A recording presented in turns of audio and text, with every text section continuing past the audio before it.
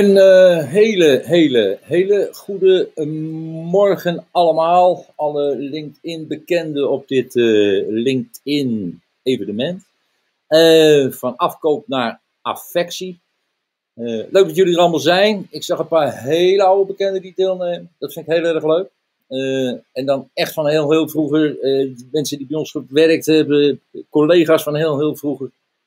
Allemaal heel hartelijk welkom. Van afkoop naar affectie eh, is het onderwerp en is de titel. Um, medewerkersverbondenheid is eigenlijk het thema wat centraal staat. Uh, daar gaan we het over hebben met Simon, met Simon van Es. Uh, ja, er zijn een aantal zaken over medewerkersverbondenheid die volgens mij wel relevant zijn op het ogenblik. Um, vanmorgen nog in de krant, in de Volkskrant, las ik uh, ook bij de horeca.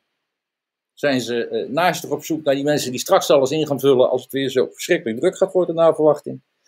Verder zien we als het gaat om de noodzaak van uh, medewerkersverbondenheid. Dat er keihard uh, handjes, uh, hoofdjes, slimme mensen, specialisten nodig zijn in, in onderwijs, in ICT, in de transport, in de techniek, in de bouw. de, de, de, de zorg maakt zich heel erg druk over hoe houden we de achterdeur gesloten. dus dat is een item, zo wat mij betreft. We zien, we zien een stroming dat mensen als, als Herman Wijfels, uh, voormalig voorzitter Rabobank, uh, Scher heeft hij ook gedaan. Uh, die ziet een ontwikkeling naar burgerschap, dus die ziet een ontwikkeling niet meer top-down, maar veel meer bottom-up. ook Paul Verhagen schrijft daarover en spreekt erover, hoogleraar, Vlaams hoogleraar. die ziet een stroming van, van veel meer van onderaf, veel meer vanuit de onderstroom komen.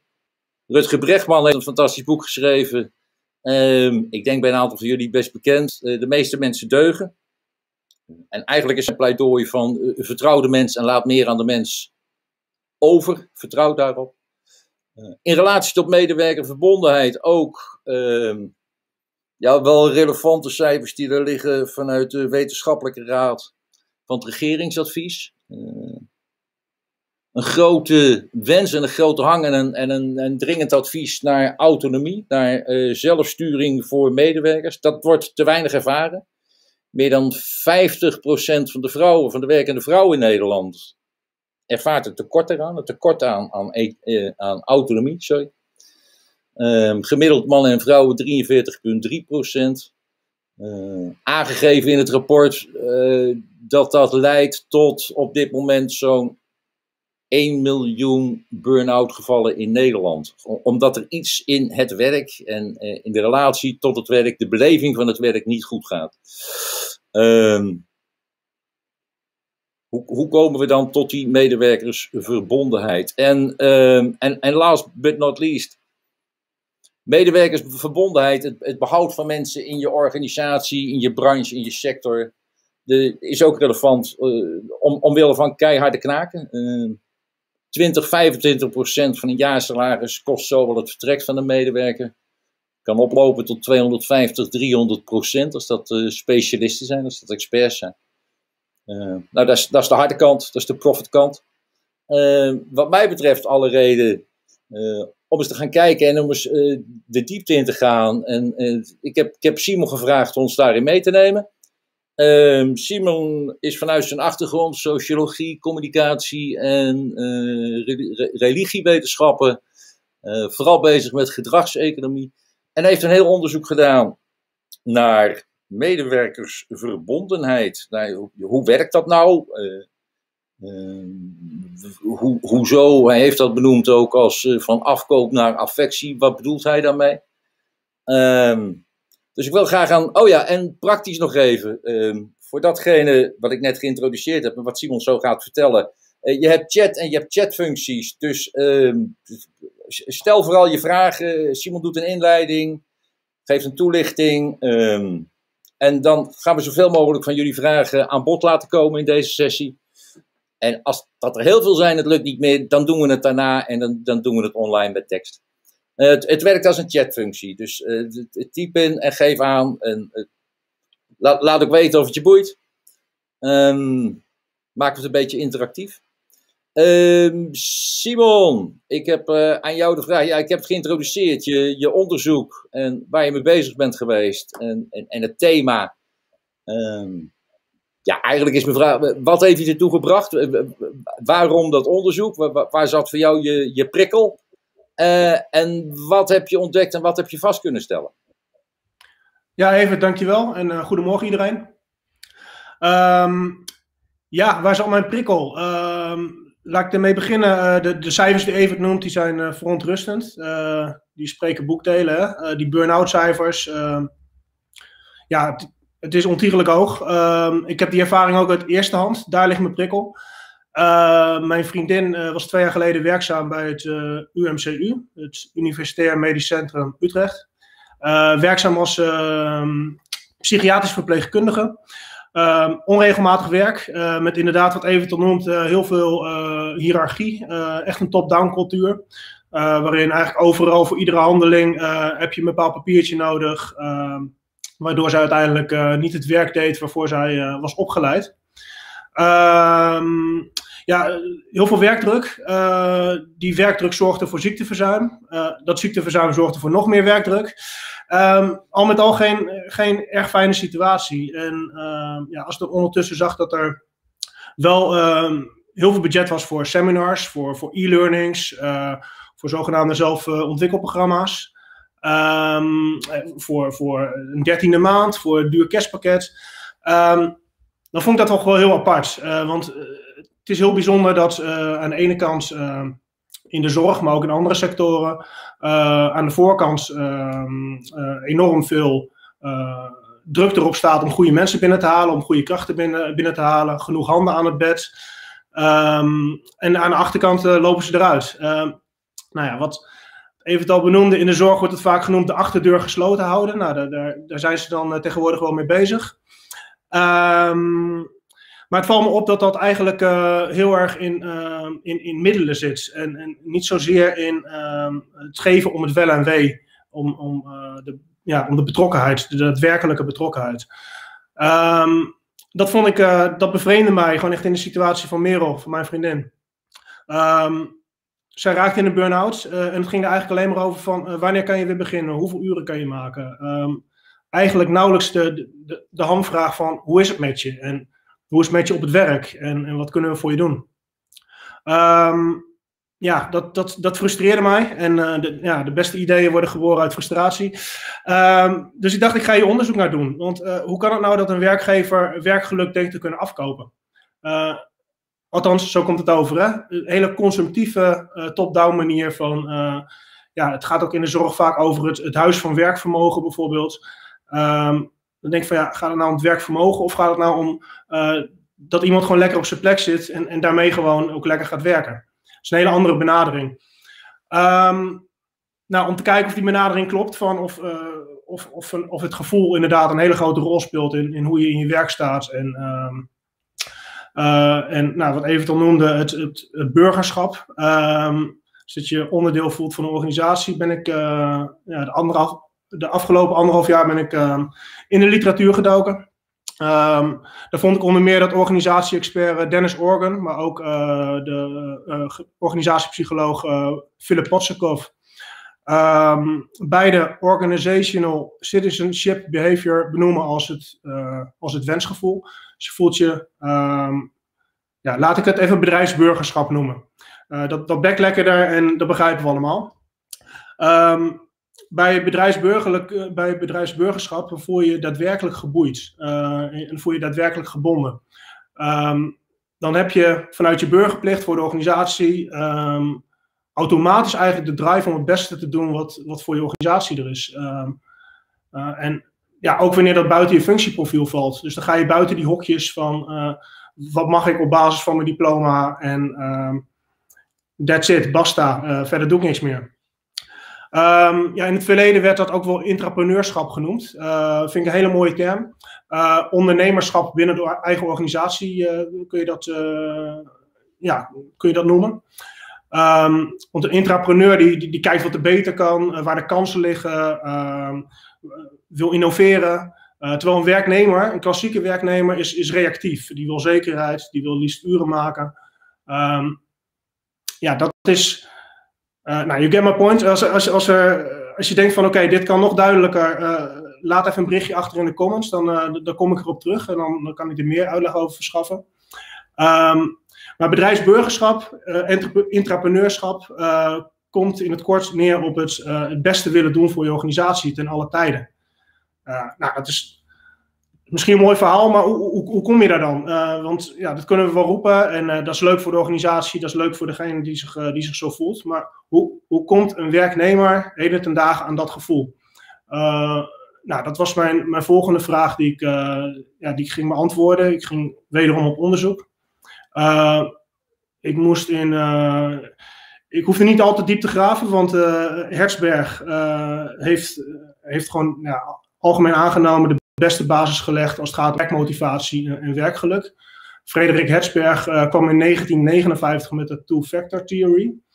Um, en ja, de two-factor theory, het zegt het al, twee soorten factoren. enerzijds hygiënefactoren. Hygiënefactoren zijn um, een, een, marktconform, ja, eigenlijk alles wat niets met het werk zelf te maken heeft.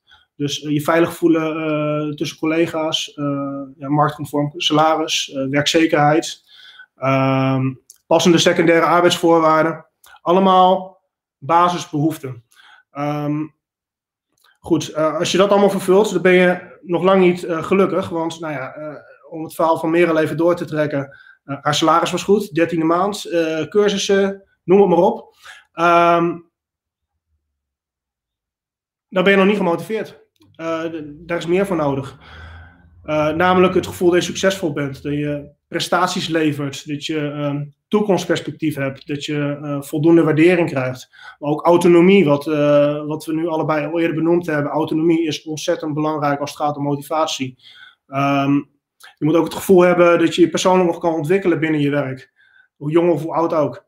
Um, en deze twee factoren, dus de hygiënefactoren die ik als eerste noemde en de motivatiefactoren die ik als laatste noemde, um, die, die, zijn, die zijn niet los te koppelen. Uh, dus, het is niet, uh, de, dus de motivatiefactoren gaan pas werken op het moment dat hygiënefactoren vervuld zijn. Um, wat dat betreft kun je het vergelijken met de piramide van Maslow. Waarin als je niet aan de eerste uh, levensbehoeftes wordt voldaan, dan, kom, dan hoef je niet een stap verder te kijken, want daar ben je dan gewoon nog niet. Um, dus deze twee, twee zaken um, kwamen in 1959 al naar voren. een prachtige basis gelegd wat mij betreft, Frederik Hertzberg. Um, maar ik miste daarin nog iets. Ik miste nog iets van, van daadwerkelijk, daadwerkelijke betrokkenheid. echt liefde voor je werk en je werkgever. Dus uh, ja, dat je ervaart dat het, uh, het en zeilen van je team en van je, van je werkgever zelf, dat dat uh, jou ook echt aan het hart gaat. Um, ik ben verder op onderzoek uitgegaan en in, in 2016 kwamen uh, Surya en Sanjeev, twee, twee Indiase organisatie-experts, um, kwamen met een onderzoek waarbij, um, waarbij zij de term affectiviteit introduceerden. Affectiviteit, dat, is, dat is eigenlijk uh, ja, je nauw verbonden voelen met de organisatie, uh, met, met het werk zelf. En dat is meer dan, uh, dan dus alleen succes ervaren, je veilig voelen, de, de, de, zaken die in de Hersberg-factoren naar voren kwamen. Want een goed salaris, um, lekker presteren en, en, en eventueel groeipotentieel, dat kan eventueel bij de concurrent ook. Dan ben je nog niet echt 100% verbonden aan je huidige werkgever. Um, ja, en affectiviteit, dat ontstaat niet als vanzelf. Dus als je medewerkers op, uh, op dat bedrijfsburgerschap gedragsniveau zou willen, dan zul je vanuit de hele organisatie eigenlijk betrokken dienen te zijn met het wel en wee van, van medewerkers. Um, dus het is wel echt een gift to get. Um, toen ik mijn whitepaper net, net af had en had laten lezen door de manager held van, van KLM, toen, toen, toen vertelde hij eigenlijk wel een heel mooi verhaal. Hij zei van toen ik dat whitepaper las, toen, toen, toen bedacht ik me van hoe is het toch mogelijk dat mijn kinderen van 9 en 10 jaar aan de eettafel vragen: Papa, hoe was het vandaag op kantoor? Um, terwijl een leidinggevende dat in de regel niet vraagt van hey, hoe is het met je en op je werk? Want uh, waar het dan toch al heel gauw naartoe gaat, zijn de, uh, nou ja, dat consumptieve, wat ik in eerste instantie al vertelde. Uh, dus, dus de functioneringsgesprekken, de performancegesprekken. Um, waarbij het gaat om hoe, hoe, heb je het afgelopen jaar gedaan en, en waarin wil je nog verder ontwikkelen? Ik bedoel, die laatste vraag is ook hartstikke goed. Um, maar dat, dat is heel erg top-down. Dat is echt van wij willen dat jij je doorontwikkelt, want dat is goed voor de organisatie. Uh, dan ga je niet vanuit de persoon. En affectiviteit, het tonen van affectie, uh, dat, dat is wat mij betreft een, een, een, een essentiële aanvulling op, op het Hertzberg-model. Dus, dus drie factoren: hygiëne, motivatie, affectiviteit.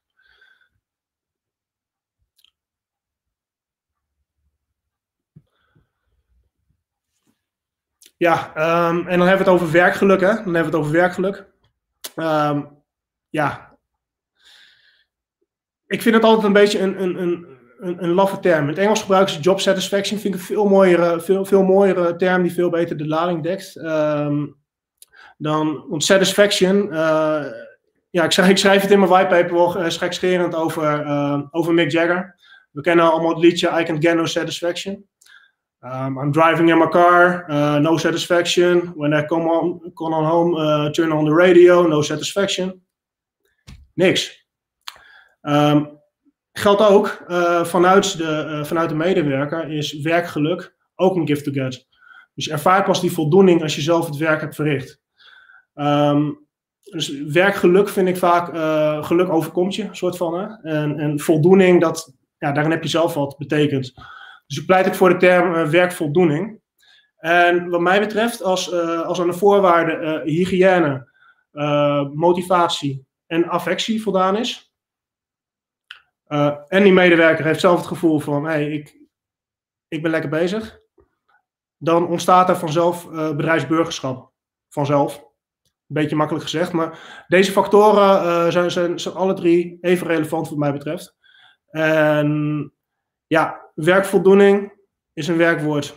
Uh, of nou, als je toch werkgeluk wil blijven noemen. Die term hanteren we nou eenmaal omdat iedereen dat begrijpt. Werkgeluk is wat mij betreft ook een werkwoord. Zo komen we tot bedrijfsburgerschap. En wat mij betreft vliegt even er nu ook weer in. Uh, ja, dankjewel. Dat, een, dat, dat is een, een mooie inleiding. Simon. Mm Dankjewel. Uh, ik zie. Ik val maar even met de deur in huis. Nicole, Nicole Jansen. Nicole, leuk dat je er bent. En Nicole zegt: uh, het, Wij willen dat je je doorontwikkelt. Dus, dat is een van de mhm. dingen waar je het over hebt. Wij willen dat je je doorontwikkelt, zegt zij. Uh, kan ook wel met het belang van de medewerker hoor. Dus de, ik, heb jou, ik heb jou ook horen zeggen van goh, uh, het is bedrijfsbelang dat een medewerker zich uh, Mhm. doorontwikkeld. En, en, en, Nicole zegt van, wow, wow. Ja, nee, uh, Nicole, helemaal, uh, helemaal mee eens, absoluut. Uh, doorontwikkelen, dat heet niet voor niks persoonlijke ontwikkeling. dat is persoonlijk, dat, dat gaat ook over de medewerker.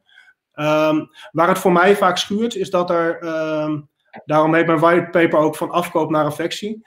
Um, om nog even de, het verhaal van Merel door te trekken. zij mocht naar een seminar over uh, statistiek, statistiek in de kinderpsychologie. Voor een verpleegkundige met, uh, met dyscalculie, die het gewoon heel leuk vindt om met mensen om te gaan. Um, daar werd falen 150 euro voor neergelegd uh, in het kader van zelfontwikkeling. Ja, dat vind, dat vind ik gewoon en weggegooid geld en weggegooide tijd. En je, um, ja, dat, dat is geen persoonlijke ontwikkeling. Dus bij persoonlijke ontwikkeling is wat mij betreft ook heel erg in vragen van wat wil die medewerker zelf? Waar, waar, waar, ligt de, waar ligt de persoonlijke interesse? En wat kan iemand zelf verder brengen in de carrière, uh, bij de werkgever zelf of, of elders? Hoor ik jou dan zeggen dat, ik maak hem even heel zwart-wit Simon, maar hoor ik jou dan zeggen dat we het uh, vanuit organisaties, vanuit management en van HR allemaal nogal kort door de bocht doen tot op heden, omdat we aanbieden toch, toch, we, we, doen toch we zeggen ontwikkelen, we doen functioneringsgesprekken, we hebben middelen. En daaruit voortkomt een, een, een, een seminar, tegenwoordig is het een, een, een webinar, een congres, mm -hmm. een zoveeldaagse training, uh, et cetera, et cetera, et cetera. En, en jij zegt van nou, we maken hem heel plat. Maar je hebt onderzoek gedaan, je zegt van nou, dat lijkt wel een beetje op water naar de zee dragen. Maak ik, maak ik hem heel plat dan? Ja, heel zwart-wit. Uh, zie ik hem inderdaad uh, zo. Um, het is, uh, er is een persoonlijk ontwikkelbudget in veel organisaties.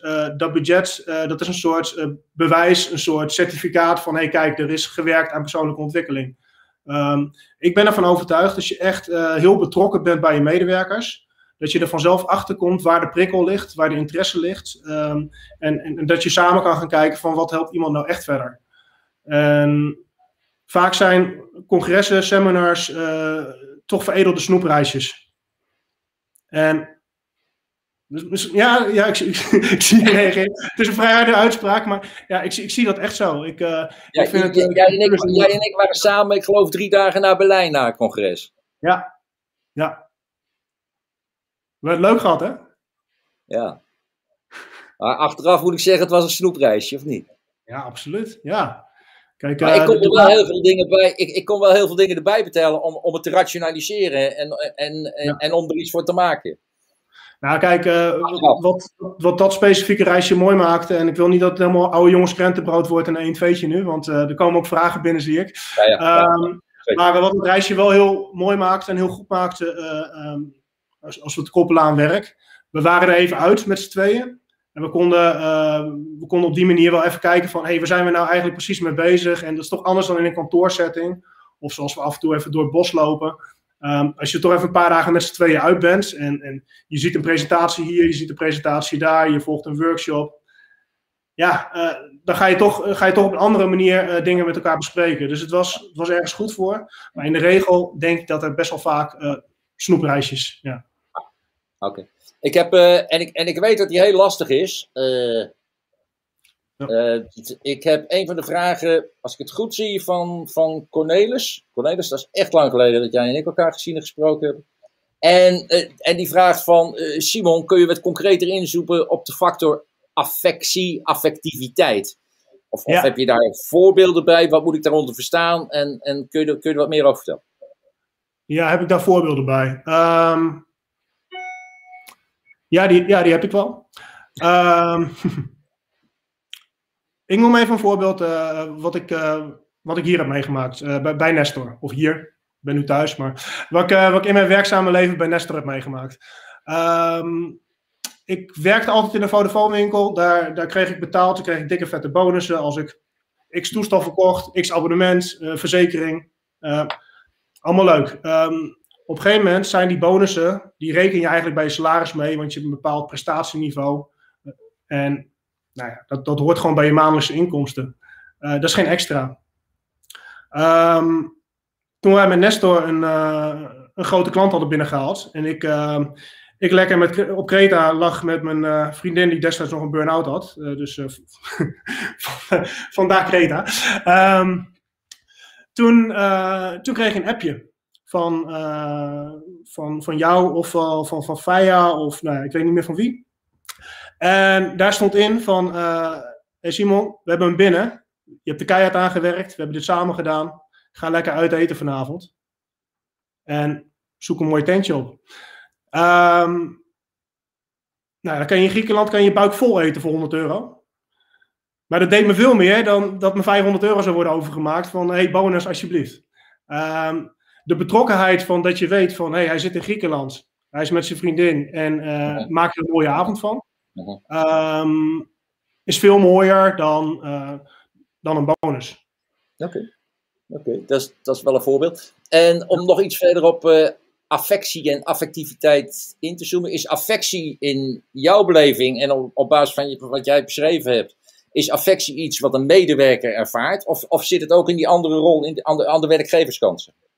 Beide. Kijk, um, als je geen betrokkenheid toont, dan kan je ook geen betrokkenheid verwachten. Um, dus uh, een, medewerker, ja, een medewerker kan wel affectie, uh, kan geen affectie voelen als die werkgever dan niet toont. Oké. Dat is iets van twee kanten. Ja. Ja. Oh. Oké. Ja, ja, goed.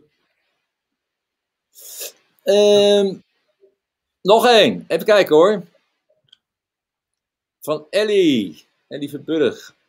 Ellie, ook al even geleden. Welkom. En Eddie vraagt aan jou, Simon. In de zorg speelt ook het dilemma tussen persoonlijke verantwoordelijkheid en tegelijkertijd risicoborging. Ik moet, er ook, ik moet even over de vraag nadenken hoor. Uh, oh ja, enerzijds. Ja, ja, ja. ja oké. ja. Ja, ehm, ja, er is een diplomacultuur. Uh, overal moet je voor, ehm, ja, je moet de dingen mogen, mogen doen. Dus er is risicoborging en, en, die is er natuurlijk niet voor niks. Um, je wil ook een bepaalde kwaliteit van zorg bieden. en dat, dat is terecht. Uh, wat ik echter wel zie in praktijk is er, is er heel veel administratie bij, de, bij degenen die gewoon eigenlijk goed zijn in hun werk. dus er komen heel veel randzaken kijken. ik vertelde net al even van mijn vriendin werkte, deed bij het UMC niet het werk waarvoor ze opgeleid was. Want in praktijk vroegen patiënten haar van mag ik een colaatje, mag ik, mag ik, mag ik wat eten, mag ik dit... was een politieagentje aan het spelen. Um, nou goed, dat hoort er enigszins bij. Maar 40% van, van, van de rest van mijn werk bestond uit administratie. Dingen noteren, dingen bijhouden. En goed, weet je, voor mij, ik ben enigszins insider, maar blijf te ver van mijn bedshow. Maar ik heb toch echt de indruk dat er uh, veel administratieve lasten weggenomen kunnen worden van zorgmedewerkers. Uh, waardoor zij meer kunnen doen wat, wat echt bij een echte takenpakket hoort en waar zij de prikkel van krijgen. Doe, maar ik snap inderdaad, ja, het is terecht de vraag. Van, ja. ja. Dank, dankjewel Simon. Doe me denken aan wat, ik kijk op zijn naam, Jos, Jos de Blok van, van Buurtzorg. Die, die een organisatie op heeft gezet met, ik geloof dat er 3000 mensen werken of zo voor de thuiszorg. En die eigenlijk alles wat te maken heeft met administratie, met processen, procedures. De, de één, sorry, Eén, uh, hij, hij, werkt zonder leidinggevende. En twee, alles, alles wordt gefaciliteerd en is naar achteren gestuurd, zodat mensen met hun eigen vak bezig zijn. Dat, ja. Ja. Dat is wel mooi. Uh, ja. Dankjewel, Simon. Uh, nog één, Gerlanda, Gerlanda Dirksen. Een, een snoepreisje, met die, een snoepreisje kan werken als waardering uh, en, gesprekken, uh, en gesprekken met vakgenoten. -huh. Mhm dat is toch leerzaam, zegt uh, Gerlanda. En dat geeft een kort geluksmoment. Ja. Het, ja, is bijna een stelling. Ben je het eens met de stelling? Ja, uh, ja ik, ben, ik ben het eens. maar dan moet het ook als waardering gebracht worden. En niet als persoonlijke ontwikkeling. Kijk, als, ja, als je iemand, ja. iemand naar een communicatiecongres in Berlijn stuurt met van dat is goed voor je ontwikkeling. Dat is toch anders dan dat je zegt van ehm, oké, ja. leerzaam en tegelijkertijd, dit is ook een stuk waardering. Ga er lekker op uit en maak er een paar mooie dagen van. Ja, en, en, en ben je dan mee met Gerland als ze zegt het is een, een korte geluksbeleving, een kort geluksmoment? Um, het, ja, het is net als de, de, het etentje in Griekenland waar ik net aan refereerde. het, is, het, is een, het is wel een bonus, dus het is, ja. het is iets wat me heel kort, kort stand houdt eigenlijk. Ja. Ja. ja. Oké. Okay. Gertjan Timmerman, wat, Gertjan, wat is het verschil? Vraagt hij. Ja. Wat is het verschil ja, tussen een uh, en een etentje? Ja, nee, dit is een soortgelijke ja. vraag. Dit is een soortgelijke vraag. Kijk, ja. uh, de, um, als een snoepreisje, als, als uh, persoonlijke ontwikkelings uh, uh, iets wordt ingezet, dan, dan, is dat, dan is dat gewoon niet zo. Op het moment dat dat een etentje bijvoorbeeld, nou, dat etentje, ik noemde net al, daar zat ook gewoon iets bij van, hé, hey, je bent lekker op vakantie en er zit, daar zit een bepaalde inleving bij. En dat is, ja, dat, dat, dat is affectie tonen, wat mij betreft ook. Ontwikkeling van medewerkers is toch een combinatie van wat de organisatie wil en wat een medewerker wil. Ja, absoluut. Ja. Ja. Um, ik denk dat daarom gewoon van belang is dat je, uh, dat je met elkaar in gesprek bent. Dus dat, dat de organisatie ook weet wat de medewerker wil. Um, dus dat is, ja, dat is voorwaardelijk. Dus uh, komt er weer op neer. Op het moment dat er echt, uh, echt betrokkenheid is vanuit de werkgever. Je bent met elkaar in gesprek, je kent diegene, je weet wie je voor je hebt. Dan, dan kan je daar ook uh, de persoonlijke ontwikkelingsprikkels op aanpassen. En dan kun je er samen uitkomen van wat is interessant voor je.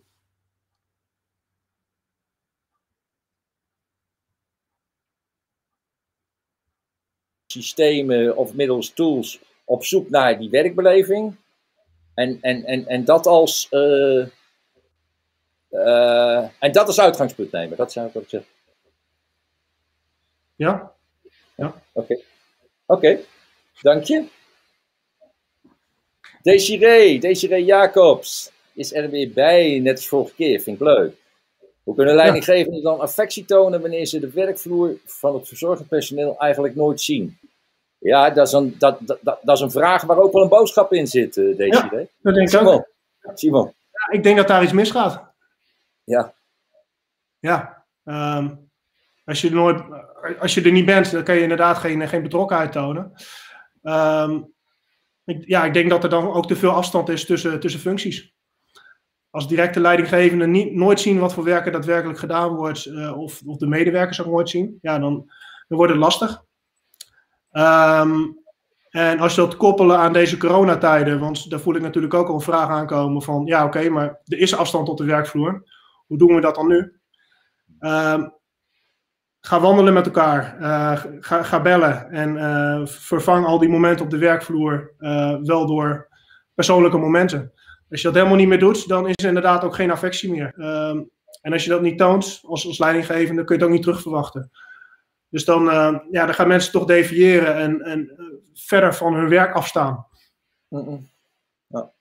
Nou, eh, Simon, dat doet me wel denken aan al die grote organisaties die ingericht zijn op, op protocols, op procedures, op processen. Op... Daar zit een manager ook in vast, toch? Dus dan, dan, dan, dan, dan kom je toch ongewild wellicht, maar dan kom je toch tot die afstandelijkheid die je niet wil. Even nog refererend Ja. aan, de, aan de vraag van deze. Zeker, ja. ja. Dan is het ook eh, een kwestie van kijken van waar zijn die procedures nog, nog goed voor. Op het moment dat dat eigenlijk de, de, de, de kern van het werken en het betrokken voelen en het werkgeluk, op het moment dat, dat, op het moment dat die procedures dat in de weg zit, Mhm. dan, dan, ehm, ja, dan kan je afvragen waar het nog goed voor is. Oké. Faya. Faya wil van jou weten, Simon. Affectie, is dat dan dat je je werkgever aanraadt bij anderen om er te gaan werken? Eh, dat hoort denk ik ook bij bedrijfsburgerschap. Op het moment dat je gewoon hartstikke senang voelt ergens, dan, eh, nou, dan hoef je daar niet over na te denken. Eh, op een verjaardag vertel je dat. En op het moment dat, er, dat ze daar mensen zoeken, dan, ja, dan zul je toch een beetje reclame maken. Ja. Komt denk ik automatisch voort uit eh, bedrijfsburgerschap. En dat is dan anders, want er zijn inst- maar dat is dan vanuit aanbod, moet ik aan denken. Er zijn organisaties die doen heel veel aan de exit. Hè. Als mensen vertrekken, dan gaan ze het heel goed begeleiden. Juist omdat ze daarna ook een, een positief imago van de organisatie willen hebben en houden. En een, en een goed gevoel, het is ook vanuit gevoel, bij de Ja. medewerker. Ja. En jij zegt, als dat bedrijfsburgerschap klopt, of dat, zoals je het in het begin schetste, entrepreneurship, dan gaat dat min of meer vanzelf goed op de verjaardagen en partijen waar ze anderen spreken. Ja, dat, dat- daar ben ik wel van overtuigd. Ja, ja ik denk als, eh, als al die boxjes eh, hygiëne, motivatie, affectie, dat dat, dat, dat afgevinkt is, dan, eh, ja, dan zul je dat ook bij je blijven dragen. En dan zul je terugkijken op een hele mooie periode bij je werkgever. En dat, dat een ander ook gunnen. Ja. Oké. Ja.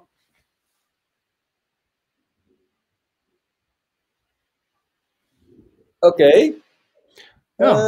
We hebben best wel een paar vragen hier en daar. In deze, we hadden hem ongelu- ongelukkig gepland, hè, deze sessie. We hebben hem mi- midden in de meivakantie. Half Nederland is op vakantie.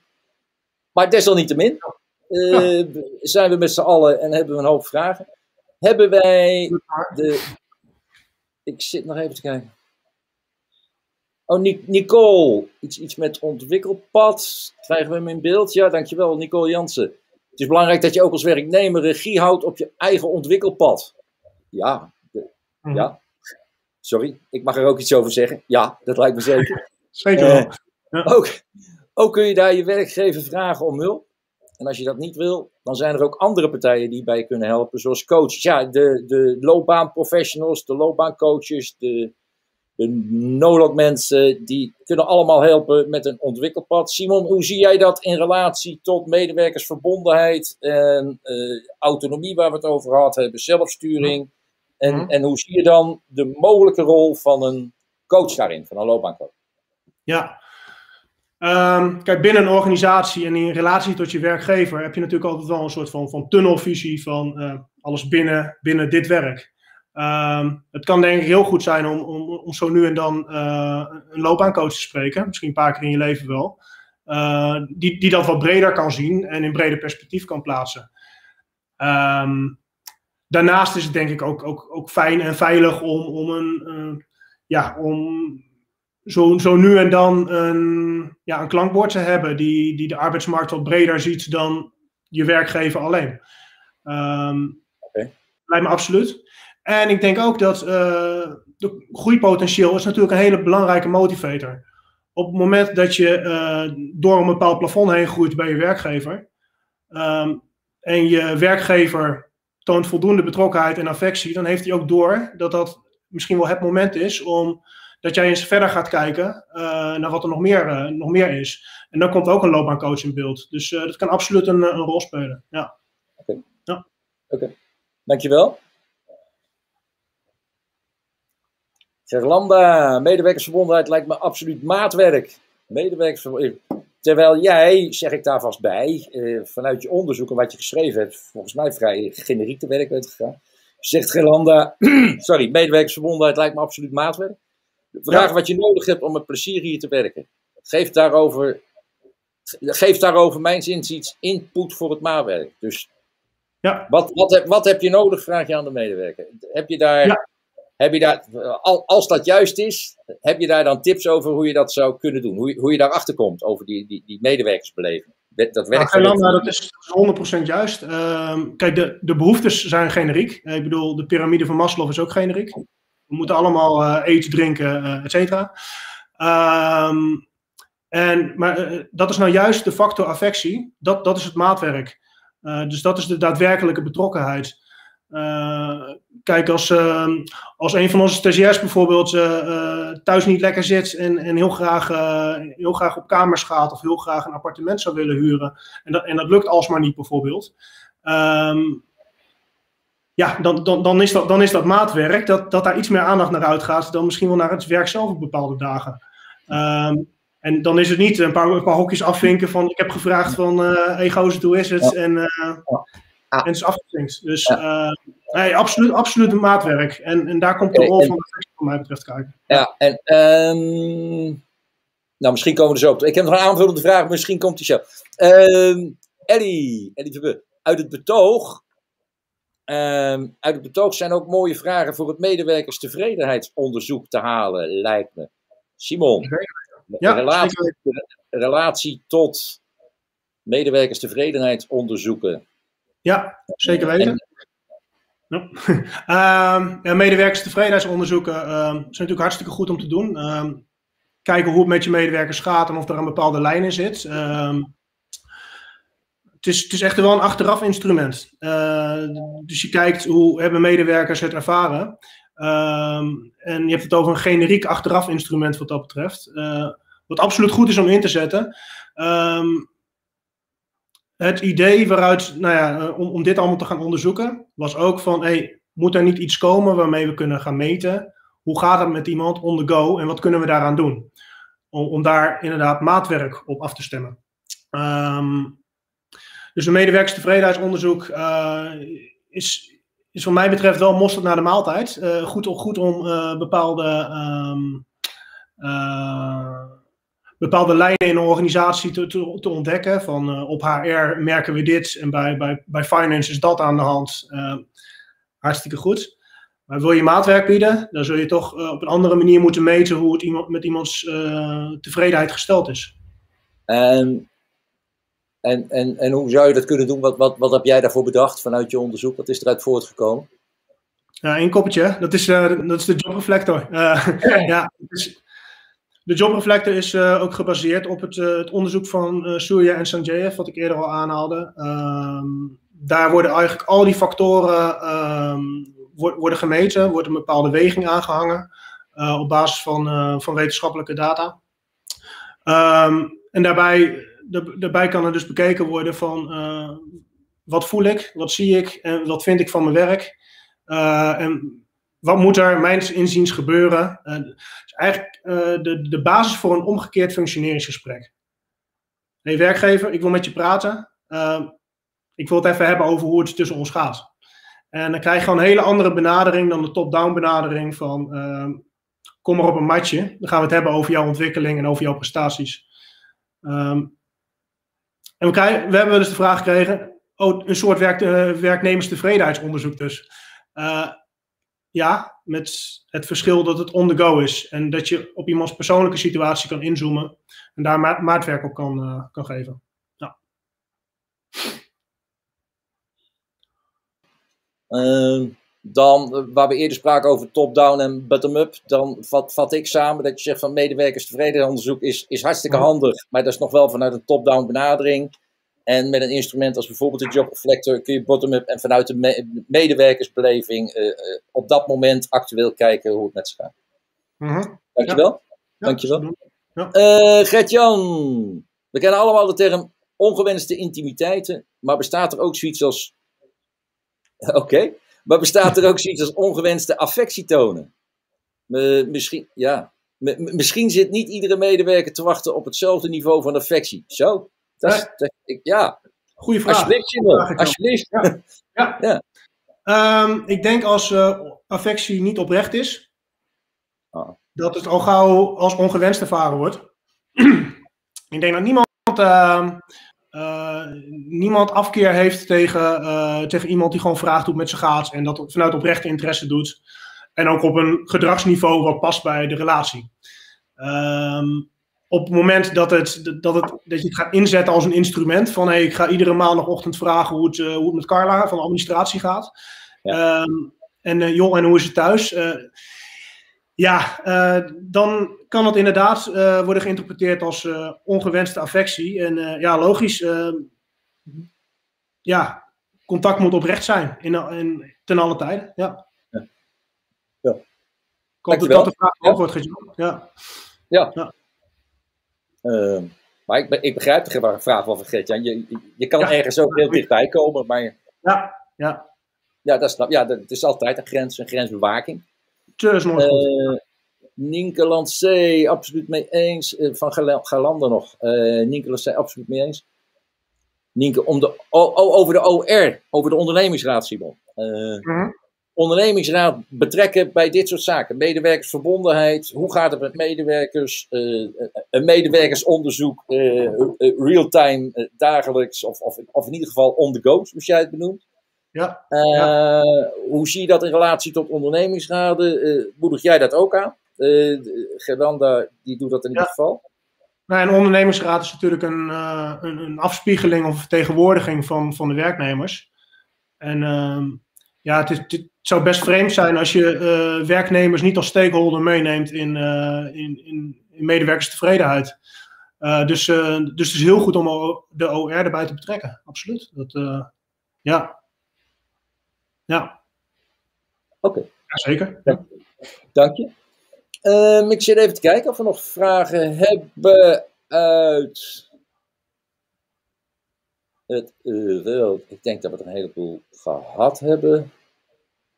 Regie, eigen ontwikkeling hebben we. Inzoomen, affectiviteit concreter gemaakt. Ik denk dat we een hele eind zijn. Wat mij nog, uh, wat mij nog even te binnen schiet. Simon, je had het net even over de jobreflector. Uh, en ik herinner me iets dat je heel enthousiast was uh, maanden geleden al. Wacht, Raymond, Raymond Gerritsen. Die doen, die doen we eerst. En, en, en, en, dan, en dan kom ik aan de beurt. Ik kan me voorstellen, zegt Raymond, dat het bottom-up initiëren van een gesprek over zijn werktevredenheid van de werknemer best een drempel is. Oh, ik kun je daar iets over vertellen. Dus uh, ja. hoe, hoe, moe, hoe, moeilijk zou het kunnen zijn, of hoe moeilijk is het, maar dan, of, of hoe makkelijk, hè, dat moet je ook meenemen, uh, om te gaan praten over je werkbeleving voor een medewerker, om, om dat gesprek ja. aan te gaan. Uh, hoe, hoe, hoe, zie jij het dat de werknemer uh, over die drempel stapt, mocht hij er zijn? Ja, dat is, nou ja, ik denk dat dat voor sommigen best een pittige drempel kan zijn. Um, want nou ja, ook veel, veel werknemers hebben wel een, een, onderbuikgevoel van ik ben niet helemaal happy of, of ik zou graag er meer uit willen halen. Uh, maar hebben dan niet, uh, kunnen dan niet pinpointen van, van wat is dat dan precies? Waar, waar hebben we het dan precies over?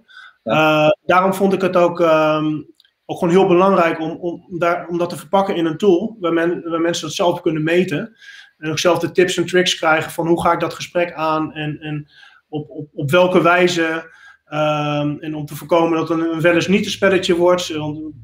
Daar, ja, daar, daar, zit natuurlijk ook wel een angst hè, van ga ik nu mijn, mijn leidinggevende vertellen dat, dat hij het niet goed doet. Nee, het gaat om jouw gevoel. Jouw gevoel mag gewoon bespreekbaar zijn. Op het moment dat, dat dingen niet goed voelen, is het alleen maar heel aardig om dat aan je leidinggevende te laten weten. Want dan kan hij er rekening mee houden. En, en dan kun je komen tot een betere werkrelatie.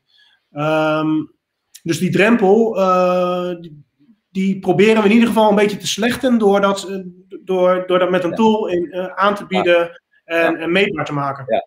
Zodat het ook concreet wordt. Want, anders, anders praat je alleen maar over onderbuikgevoel. Van ja, ik vind het echt niet leuk hier. Ja. Waarom niet? Ja, dat, die collega van me. Ja. Oké. Helder wat je zegt en, en helder wat het instrument doet wat je daarvoor bedacht hebt. En, en en ik maak uit je antwoord ook op dat je inderdaad die drempel ook ziet. Ja. Van ja, het is voor heel veel medewerkers best moeilijk om over jezelf, over je eigen beleving en je gevoel als het gaat over je werk in gesprek te gaan. Dat, dat... Ja, oké. absoluut. Ja. Ehm, heb jij over, die, over, over dat instrument, over die, job, over die jobreflector, heb, heb je daar, kun je iets meer over? Heb, je daar al uh, reacties uit gehad? Of heb je daar... Um, we hebben een, uh, ten eerste hebben we een pilot gedaan, dus het is, echt een community-based tool uh, geworden. Dus we hebben, uh, we hebben heel veel opgehaald vanuit het veld van uh, eigenlijk alle mogelijke medewerkers binnen Nederland die, die hem wilden doen, die mochten hem doen. In ruil voor feedback, in ruil voor van hey, wat vind je ervan en wat kunnen we nog verbeteren. Ja. we geloven erin dat het op die manier ook, ook beter wordt. Um, wat ik wel een hele leuke vond, komt, komt er nog eentje van de schoonfamilie dan. Uh, mijn schoonmoeder die heeft het enorm geholpen in een gesprek. Uh, zij werkt als parttime winkelmedewerker bij een opticien. Doet dat al ruim 40 jaar. Nou, echt een, een, een high-end opticien in, in Meppel. Dus nou, daar kun je een hele mooie spullen kopen. En ze hebben een bepaald serviceniveau. ook vanuit vanuit vroeger waar ze aan willen voldoen. Uh, ze willen niet mee met de ketens, laat ik het zo, uh, zo zeggen. Uh, een familiebedrijf. Familiebedrijf is overgenomen op den duur. dus nu een jonge generatie die iets minder heeft met die klassieke waardes. Ehm, en nou, mijn schoonma had het gewoon niet meer naar de zin. Die had gewoon niet meer leuk. Um, en wist eigenlijk niet zo goed ja, te pinpointen, uit te leggen van hoe komt dat nou? waar komt dat gevoel nou vandaan? ze heeft het jobgeflector gemaakt. Moet ik, ik denk dat ik het appje gewoon even voorlezen. Want ik, ik probeer het nu te, te reproduceren en het gaat niet helemaal. Um, nee. Even zoeken hoor. Dus als iemand tussendoor nog een vraag wil stellen, prima. Uh, doe rustig aan. Doe ah, rustig aan. Het gaat, redelijk snel dit. Uh, even kijken. Ik kan... Uh... Tussen de muziektips door. Ja. Uh, even kijken. Hier is die. Je, je, je, je, je, schoonmoeder heeft, uh, de, nou ja, jij bent product owner, job reflector, die heeft je schoonmoeder gedaan en daar heeft ze iets over geappt. Ja, en uh, nou ja, kippenvel momentje op de vrijdagmiddag. ja, ja dat, is, dat is echt gaaf natuurlijk. Ik bedoel, je hebt er hard aan gewerkt en je hebt schoonmoeder al geholpen. Nou, dat is, uh, beter kan je niet krijgen. Um, zij zegt, hoi Simon, ik wou even laten weten dat ik bij een werkbespreking heb gehad. daarbij heb ik de testresultaten van de test die jij ontwikkeld hebt. Uh, de jobreflector, die hebben wij over, overigens ontwikkeld met een heel team. Uh, die heb ik uh, ingezet. Ehm, ik kwam erachter dat ik het prima heb op de directe werkvloer, maar dat ik niks afweet van, de, van waar we als bedrijf naartoe willen. Um, of we de waardes uit de winkel nog willen houden zoals, zoals ze waren.